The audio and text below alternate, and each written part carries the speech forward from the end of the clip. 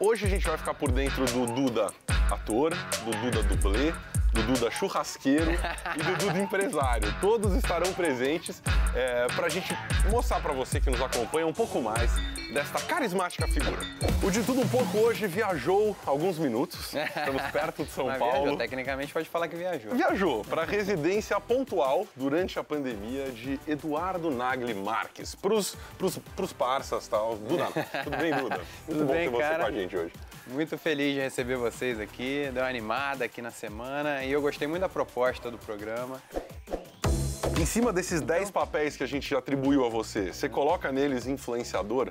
Você entende que você Eu hoje coloco, influencia o, o coloco. comportamento das pessoas? Eu coloco até brinco, eu falo, não virei blogueira à toa. Esse universo das redes sociais meio que aflorou de volta o lado publicitário. Porque então, quando eu comecei a estudar teatro, eu comecei a trabalhar com TV e eu falei, pô, vou fazer uma experiência então, vou virar meu próprio produto, minha agência de publicidade, meu diretor de criação e vou ter uma vida dinâmica, vou conhecer tudo, show business de dentro, isso quando eu tinha 19 anos. Sim, que parece E que aí- o mundo é uma ostra e. É, aí eu fui me arriscar nesse negócio. Aí depois eu fui, comecei a, a- a viajar mais na arte e tal. Aí virei mó bicho grilo. Falei, não, quem, quem tem que ficar conhecido é o personagem, não o ator. Terminava a novela, Será eu que isso não sumia. faz sentido também? Eu terminava uma novela, eu sumia, eu ia viajar, sabe? Eu não tinha rede social, eu não. Queria se eu isolar evitava. mesmo disso. No início eu até participei de tudo que é programa que me convidaram, depois eu falei, cara, não, não tem muito a ver comigo, aí passei a, a fugir de tudo, de, de As suas redes entrevistas, de decolaram mais quando você sentiu que você tinha que se empenhar nelas ou foi um processo natural de, pô, eu fiz tantas coisas enquanto bicho grilo Uhum. e ator e desligado disso que eu atingi um- uma notoriedade que a partir do momento que eu abrisse uma rede social ia entrar um monte de gente mesmo assim? Cara, ou você não, sente que teve um start ali que você falou, agora eu vou, Foi do vou atacar nada, nisso eu, aqui eu um comecei a. Eu sou meio 880, assim. Eu- ou eu sou early adopter ou eu sou velho ranzinza. Então eu, fiquei Velho meio ranzinza velho um ranzinza tempo. durante um tempo, depois eu fui com tudo. E aí comecei a fazer desde canal no YouTube até Instagram, Facebook, Twitter. E aí fui fazer uma novela no SBT, que era um público muito ligado, conectado, que é um público jovem. Impressionante o. SBT mesmo. Porque a criançada, os a adolescentes do SBT são é- seguidos pelo É Brasil. que- porque assim. a criançada, ela assiste uma novela já tweetando, na época era o Snapchat que tava bombando. Nossa, É, o o Snap falou não pro stories. Facebook lá. É. O grande não. E aí o, o Zuckerberg lançou ali os stories, e aí foi bem durante esse processo, assim. E aí as redes começaram a crescer bastante, assim. Você tá com 37 anos, né? Sim. Faz 38 esse ano? Ano que vem, ano que vem. Tá bom, isso quando a gente era moleque tinha essa coisa, não, eu tô com 14,5, vou É, fazer 15, é, não sei quando. É, você tem alguma preferência nas artes marciais? Você que agora, pro público, é um lutador? De vale tudo, vale tudo é, é fantástico. Vale Na tudo, Rio é raiz, raiz é, versus Nutella. MMA, que é o, é o, o Vale Tudo um pouco Nutella, não vou dizer que é muito, porque o que vai ter de, de mensagem me ameaçando aqui.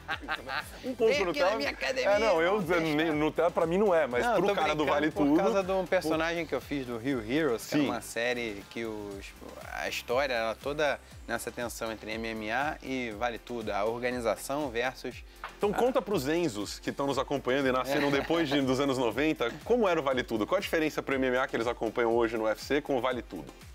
Então, não tinha, não tinha intervalo de tempo, não tinha divisão de categoria por peso e, Isso é muito e louco, valia né? Então quase você tinha- tudo, realmente. Procurem aí no YouTube Minotauro. Eu, já- eu não sei se ali já era MMA, mas o Minotauro e o Bob Sapp era uma época que É. não tinha, não tinha peso.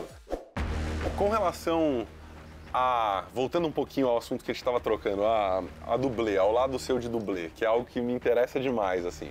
A gente, inclusive, vai fazer uma tentativa aqui, algumas tentativas interessantes aqui no De Tudo Um Pouco. É, você teve experiência com, com um grande dublê americano.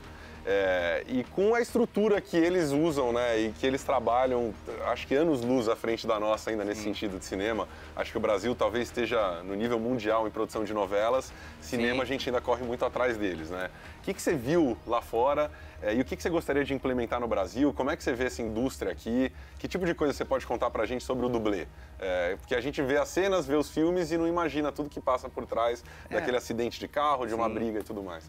É um universo inteiro que tem em torno de cada coisa. Então vai desde os dublês e da performance de ação, com risco controlado, com toda a otimização de, de produção, a indústria. Imagina agora uma produção de vários milhões de reais, no caso do Brasil, quando você vai, eh, digamos, você tem uma locação e você só pode explodir ela uma vez, né? Não pode então, dar errado. Não pode dar errado. Então isso faz assim, como a ação dentro da dramaturgia coloca os personagens numa situação, de, a coisa da quase morte transforma qualquer uma situação de vida muito intensa, né? Sim. Então, a novela aborda muito essa coisa de relacionamento, o fim de um relacionamento, que também é uma coisa muito intensa, mas uma experiência de quase morte com, sei lá, um, um ataque terrorista ou um, um, alienígena que vem invadir, os super-heróis têm que salvar, isso aí coloca dramaturgicamente falando os personagens em uma situação muito rica e a parte da, da logística e da, da criação, da administração de recurso, técnico, material e tal, também é muito complexo. Então, isso acontece muito, como você citou, assim, pô, só dá pra fazer uma vez essa cena. Tipo, vai destruir um carro, sei lá. É, então, não temos aqui é tudo, quatro é carros é para destruir. muito caro, né? É. Então, dá para repetir? Daria, mas pessoas Vai vão ser demitidas. fortuna, né? vão ser- pode ser que quebre o projeto inteiro, pode ser que deixe de dar lucro, né? Não preciso dizer que o du- dublê lá deve ser um cara muito bem pago, né? Ah, deve ser sim. No Brasil, certamente é mais complicado. Ainda mais o dólar 6 quando- para 1. É, ali hoje, na verdade, qualquer um é bem pago para nós, todo mundo que recebe em dólar. Mas- É, você gostaria de, de aproximar um pouco essa, essa cultura de lá para o nosso cinema nacional? Então, aí eu acho que novelas? essa pode ser uma das minhas contribuições para a indústria nacional, sabe? Como eu sou muito interessado nisso aí, muito curioso, e, e já pude fazer contatos aqui primeiro no Brasil, depois começando lá fora, assim, eu acho que eu posso ajudar nesse, nessa parte da indústria, sabe? Então eu vi ali um, um- a demanda é gigante, porque os maiores recordes de bilheteria no cinema São brasileiro os- são Avengers, Avatar, Exatamente. Velozes e Furiosos, Piratas do Caribe e tal. Aqui não se produz muito esse tipo de coisa. É verdade, quais são nossos filmes de ação? Quer dizer, lógico, tem Tropa de Elite, Então, tem Cidade todo de mundo Deus, fala tem... que Tropa de Elite é, um é- filme é não é um filme de ação, mas não é. é um é suspense, considerado um é um drama, é. Pois é, eu Porque acho que a gente tem tá tão... cenas de é, ação, mas não é um filme de ação. Eu sempre tive a sensação que o cinema brasileiro é muito mais parado que o americano. Câmera parada, imagem parada, um Então, pouco como o europeu, assim. E o, americano não para técnica, nunca, né? A técnica de segurar uma câmera, sabe? Técnica de câmera, o jogo de câmera e tal. as- os jogos de câmera são feitos pelos dublês mais experientes, então é difícil, tem que ter onde muito... filmar. Exatamente, e segurar uma câmera pesada, cara pra burro, com um jogo de lente que custa mais caro do que um carro de luxo, né? É, ou- E, e aquilo ali preso a cabo, no meio de uma situação, então tem que ter tempo, tem que ter preparo, tem que ter técnica. Cara, que legal. É muito complexo, é muito legal. É por isso que eu fico tão empolgado. Assim, Pô, Cara, antes de você. pra crescer. Antes de você contribuir, né? Acho que contribuindo comigo, me ensinando um pouco, já é uma primeira grande contribuição. Mas conta um pouco do projeto que está rolando agora é, e do filme que está ficando pronto por conta da pandemia tem um pequeno atraso, né? A Sim. Garota da Moto. A garota da moto. Como que foi? O teu papel é de um policial. Tem muita ação no teu papel, tem um pouco de, de dublê também. É, total. Meu, meu papel tem só. Eu tô lá só pra isso, assim. É um cara super. Eu não posso falar muito do personagem, porque eu sou rei do- dos spoilers, assim. porque eu me empolgo. Ou eu não falo nada, ou eu Conta um falo pouquinho demais. assim só, pra galera ficar Aí- curiosa. Mas a- o personagem tá lá pra, pra tacar fogo na história. assim. Já tem, tem data para o filme sair? não fim sei. do ano? Eu acho ano que vem? que no fim do ano. Eu acho que o povo ainda tá animado pra lançar esse ano. Eu tenho uma história, curiosamente, que eu acho que se assemelha com a sua com a Sabrina. Quero tirar isso a limpo. Aonde vocês se conheceram? No Instagram. No Instagram, a pela gente internet. se Ela conhecia de opa, beleza. começou em curtida ali, uma foto aqui, ali, opa, tudo bem, é, curtiu Já aqui tinha mandado tal. oi pra ela Já tinha um direct vezes, ali, já, já tinha mandado um Algumas direct. vezes? Peraí, como é que é? umas quatro vezes diferentes. E não, mando- e não vinha resposta. Não tinha resposta. Mas tinha Até que visualizado? um dia eu vi um like attack, sabe assim, com vários likes da Ela resolveu que era hoje. Aí ela diz que foram os maquiadores amigos dela que estavam meio que, sabe quando os amigos vão e, e dão aquele empurrão? É, se eles deram um empurrão é porque já provavelmente era um assunto ali do, da É, sala não, de devia estar maquiagem. em pauta ali é. o assunto, aí, ah, deixa eu ver aqui seu telefone. Tá, tá, tá, tá. Isso Sabe? faz quantos anos? Faz uns. Vai fazer cinco agora. Já tinha Tinder, quer dizer, vocês estavam ali, vocês estavam. Eu nunca tive Tinder. Vocês estavam por já- fora ali, mas por dentro do chaveco virtual. É, Tal, deixou umas curtidas, a Sabrina não deu muita moral, um belo dia, like attack. Eu tinha mandado. Chuva de like. Oi, eu, manda, é, é, eu tinha mandado um oi. Eu falei, Oi, só mandar- isso? Oi, Oi? é, pra ser misterioso, sabe? Nem sorrisinho, ela sabe, então, emoji, né? Pra ela não saber o que que é. Oi. mas, pô, que oi é De repente esse? ele quer trabalhar É um comigo, oi sei. cercado de mistério. Eu mandei pra ela ali. Olha só. E aí, mas, sei lá, várias vezes, várias tentativas depois, ela respondeu.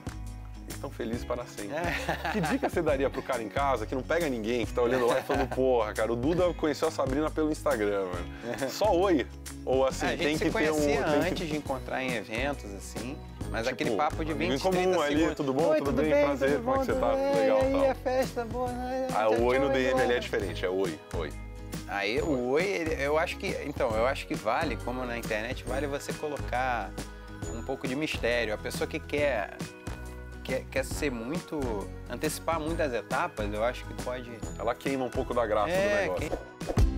Quantas pessoas assistem um story de alguém que tem milhões de seguidores? Quantas pessoas Cara, estão lá todo depende, dia tem- acompanhando o seu dia a dia? Vai, a média vai em torno de 100 mil, mas tem picos de 250. Imagina isso, você já parou assim pra, pra colocar em números isso na sua cabeça? Poxa, tem. Sou, sou um cara que gosta de futebol, então. estádios de futebol. Estádios, pô, tem três maracas aqui lotados vendo Isso é muito doido. eu, sei lá, brincar com a Zoe na piscina. Ou qualquer coisa que às vezes. Cara, uma coisa que é, não diria assustadora, mas é uma coisa gigantesca, é como a Zoe é, tem carisma e. como as pessoas e gostam como dela. as pessoas gostam dela, isso aí realmente. A Zoe é, é uma figura com poder de despolarizar o Brasil. Sabe assim? Ela- ela- Tem todos os tipos de ideologia, de vertente, de. Mas todo de mundo gosta da mercado. Zoe. As pessoas, todo, as pessoas mais diferentes do, do Brasil falam, vêm falar quando falam com a gente, falam é, com carinho, sabe?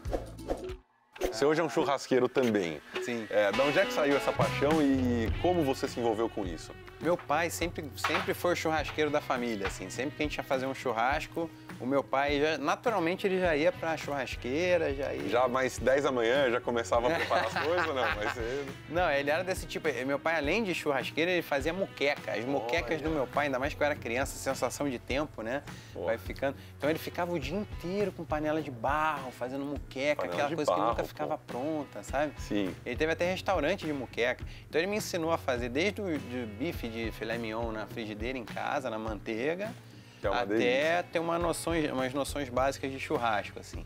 E aí um dia você falou, pô, eu acho que isso deveria ser mais do que um hobby.